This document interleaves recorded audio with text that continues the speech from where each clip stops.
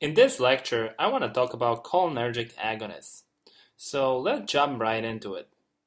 As you may recall from my previous video, cholinergic neurons are primarily found within parasympathetic system.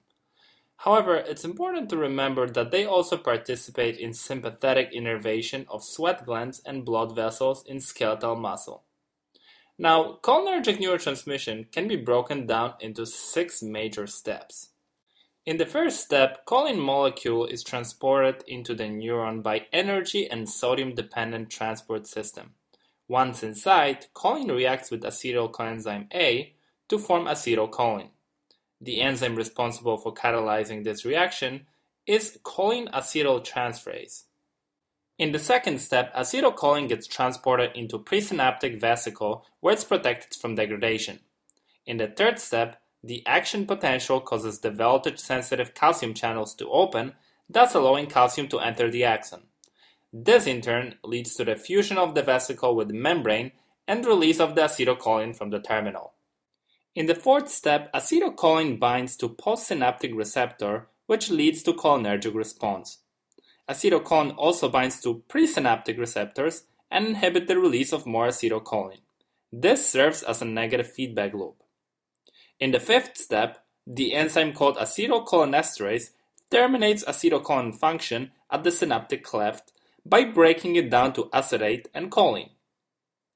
And finally, in the sixth step, the free choline is taken up again by the presynaptic neuron and the whole cycle gets repeated. Now let's talk about the receptors in more details. There are two types of cholinergic receptors. First, there are muscarinic receptors and the second are the nicotinic receptors. And as you can probably tell from their names, muscarinic receptors have high affinity for muscarine, and nicotinic receptors have high affinity for nicotine. Now, there are five distinct subtypes of muscarinic receptors, known as M1, M2, M3, M4, and M5. Out of these, the first three, M1, 2, and 3, have been functionally defined, Therefore we generally focus just on them. As far as their location, besides being found on neurons, M1 receptors are located in gastric glands, M2 receptors are located on cardiac cells, and M3 receptors are found in numerous places on smooth muscle in the eye, lungs, digestive tract, as well as exocrine glands such as sweat and salivary. Now, as you may remember, muscarinic receptors are members of the G protein coupled receptors. You may also recall that there are different types of G protein. So the receptors M1 and M3 are coupled to G protein of type GQ. As a quick reminder, stimulation of GQ leads to increase in intracellular levels of calcium. This is important to remember because increasing intracellular calcium content can trigger processes such as contraction, secretions, and neurotransmission.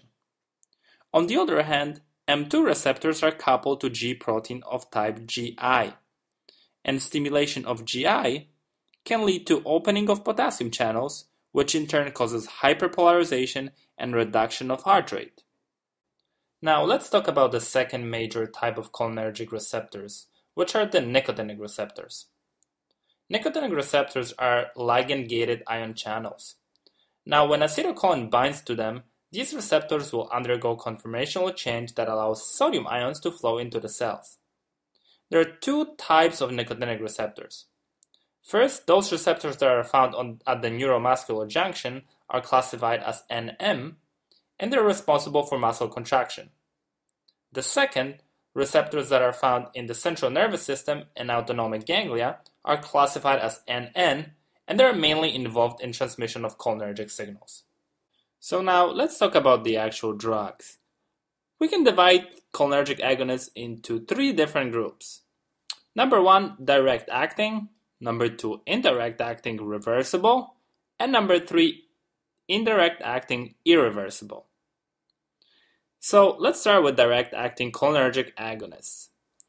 They simply mimic the effects of acetylcholine by binding to either muscarinic or nicotinic receptors. The first drug that belongs to this group is non-surprisingly acetylcholine.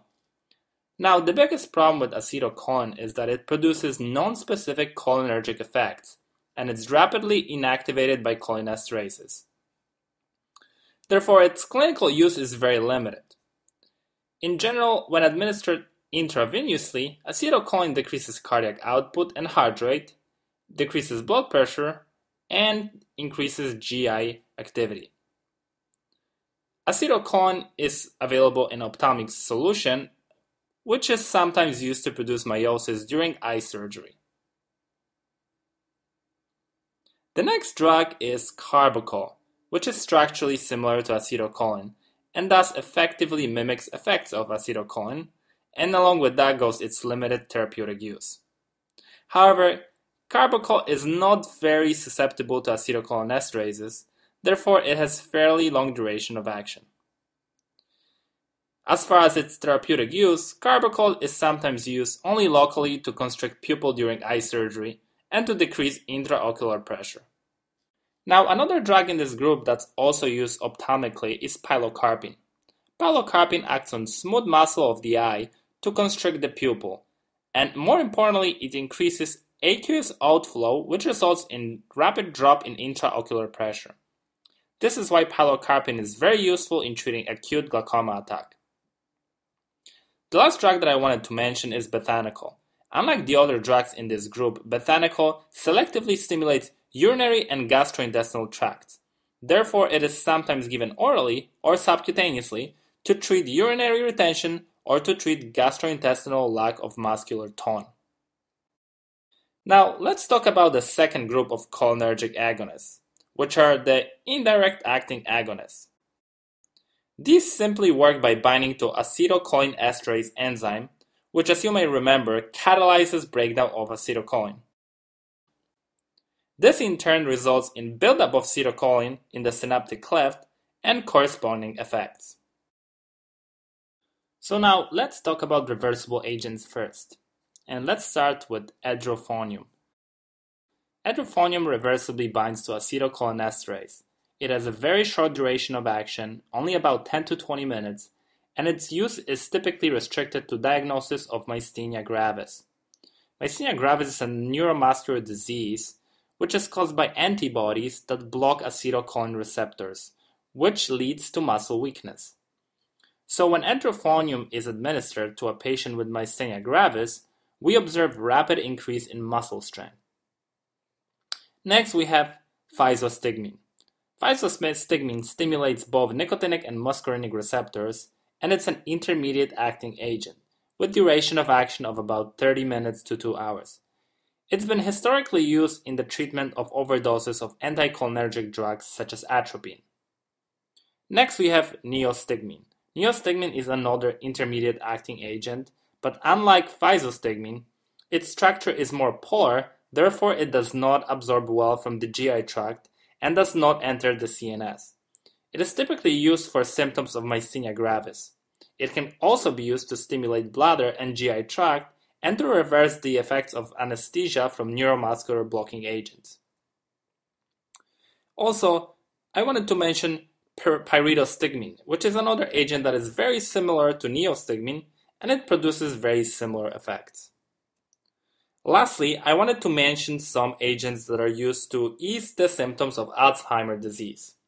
And these are donepezil, rivastigmine, and galantamine.